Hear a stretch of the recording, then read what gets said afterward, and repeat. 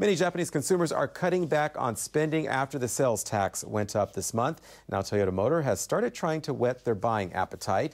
It's rolled out what officials call the most fuel efficient gasoline powered compact car in the country. Toyota and its group firm Daihatsu Motor joined hands to develop the latest Passo hatchback. It runs 27.6 kilometers on a liter of gasoline. Company officials say that's the best fuel performance among gasoline powered cars in the country.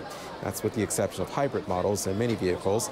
Toyota officials say the Passo's newly developed engine improved its fuel efficiency by about 30% compared with previous models. Japanese automakers are bracing for a domestic sales drop of some 10% this year because of the tax hike. Fuji Heavy Industries also plans to release a new model next month.